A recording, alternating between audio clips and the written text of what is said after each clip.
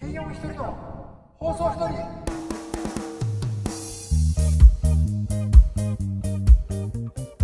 軽音一人の放送一人です。このチャンネルは自宅の防音室を物質として様々な企画をやりながら童貞高校生という設定をソウルフルに守っていく教育的チャンネルです。現在1ヶ月に1回ペースで来る大スランプが来てます。今まで叩いてみた動画22本歌ってみた動画15本やってきたわけなんですけどまあ全く登録者が伸びずねこれがかなりモチベーションに響いてるわけなんですけどそこに私ですね雨などの低気圧による片頭痛が重なっておりまして軽くダウンしております。片頭痛めっちゃ辛いんですよ。経験した人はわかると思うんですけど急に来るんですよ。集中力が少しだけ緩和した際に急に視界がぼやけていって目の前が真っ白になるんですね。そこで意識が遠のいたところで頭をガンガンガンと金槌でぶん殴られる感覚がクレッシェンドしていくんですけどこの時にですね顔の右半分が麻痺してしまうんですね。でそこでほぼ自然と涙が流れてくるんですよ。ここまでが1セット。も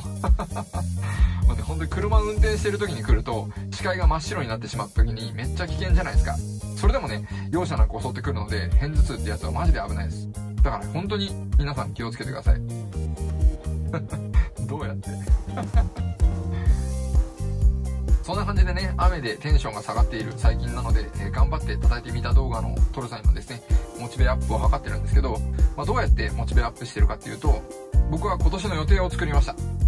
6月は1日に始まった新企画をし抜きで頑張ります。7月は夏アニメが始まるのでその戦争に勝利します。そして合宿します。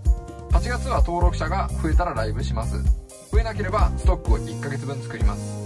9月はもしかしたら自撮り棒を持ってロケに行って弾き語りしてる人に声かけたりとか新しいホワイトボードを使う企画をやったりとかオリジナルを作ってますのでそれを発表するとかとにかくその時の気分で新しい風を入れたいなというふうに思っています。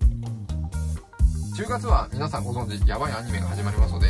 そこでね叩いてみた界隈は戦争が起こります。ここで勝たないとマジで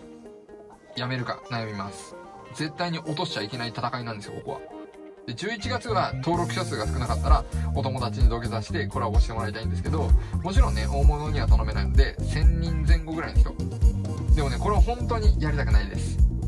12月はついに満を持してベースやギターキーボードを始めて、えー、全部一人でやってみたような曲がやります。そしてエクストリーム曲解説のフォーマットで五角形でレビューしようと思っています。これも最初からやりたかったことです。まあね今後もね面白いチャンネルにはなると思いますので、えー、長い目で見ていただければなと思います。僕は片頭痛と戦います。それではまたブースで会いましょう。剣音一人でした。